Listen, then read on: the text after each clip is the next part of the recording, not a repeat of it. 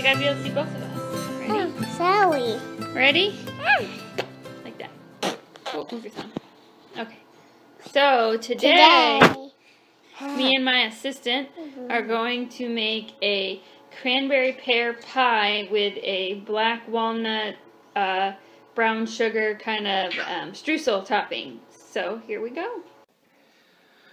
Laura needs some walnuts cracked for the topping for her pear and cranberry pie.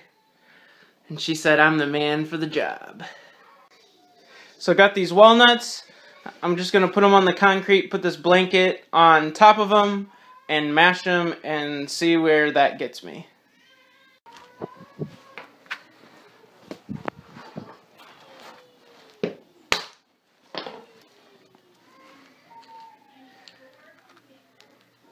I hit it too hard. Just mashed it into nothing. So I'm going to go a little lighter and easier on my smashing. I don't know how much uh, walnut she needs. It'll definitely be crushed walnut. I'm just smashing it to bits. But I'm to crack the last couple and see if we can salvage enough to use for the pie. Okay, now that I'm done with the walnuts, I found the best way to do it was to put the towel under the walnuts and then kind of keep my hand cupped around the walnut. That way I could see what I'm doing and the walnuts not getting rubbed into the nasty concrete. and that way I could kind of take it a little easier and putting my hand around it kept the shells from flying out everywhere. That's the way to do it. The hardest part of this pie is definitely getting the uh, walnut out of the walnut shell because we uh, saved and cured a whole bunch of walnuts but they were still all in the shell so we are currently still trying to smash them all. We need about a quarter cup of chopped walnut.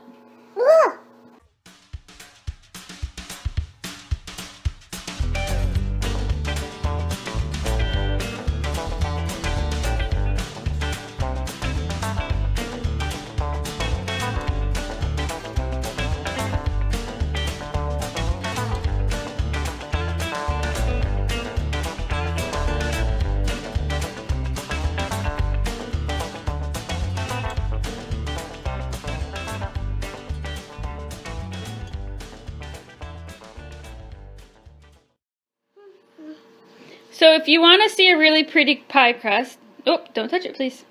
This is not the one. But uh, I'm sure you can find plenty on Pinterest, but I will tell you it's tasty. This pie just uses a single crust, or, yes, a single crust.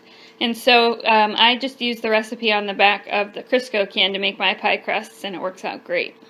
So we have uh, about a million packets of frozen pears in the freezer, thanks to a friend uh, from church that had a humongous pear tree that let us come and pick.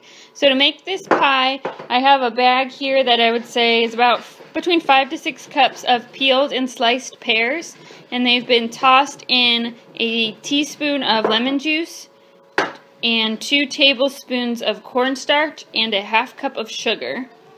And we'll use that for the base of our pie and we'll mix in there one cup of these fresh cranberries that I got super cheap at the store because it's cranberry season. And then we'll need just a little bit of butter.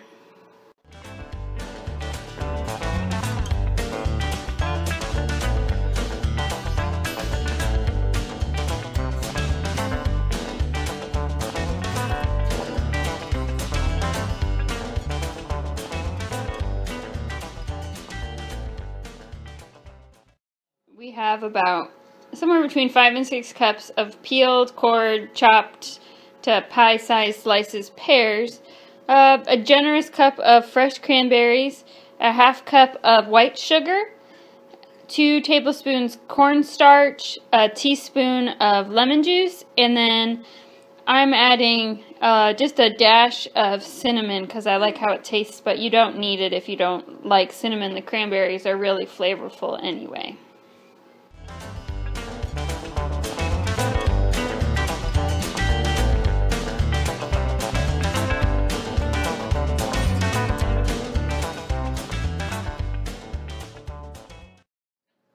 Thing we're gonna do before we put our topping, mix up our topping, is I'm just gonna put just a little bit of butter, not a lot, on the pie.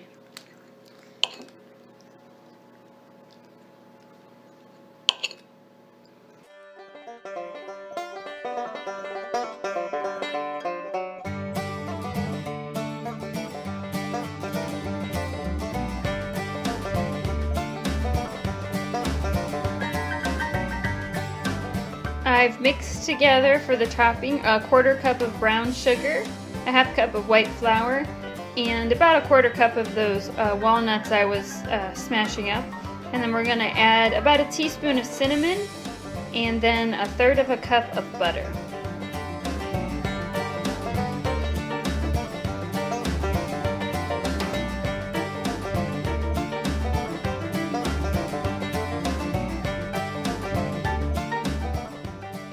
People when they make the streusel topping will cut in the butter with a knife. I don't have the patience for that, so I just smush it in with my fingers, which probably isn't, you know, what Betty Crocker would do, but it, it works fine, and then it gets it all mixed up. So I kind of smush it until it's crumbly, and then we're going to pour that on top of our pie.